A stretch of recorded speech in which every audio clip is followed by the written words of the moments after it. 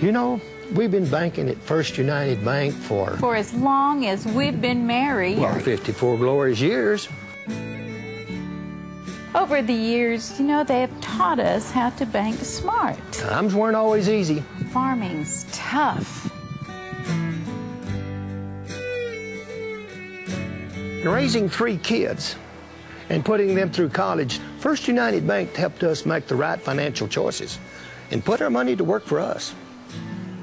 More than just our bankers, they're our friends. They knew what was coming, and they stood by us every step of the way. We've lived well.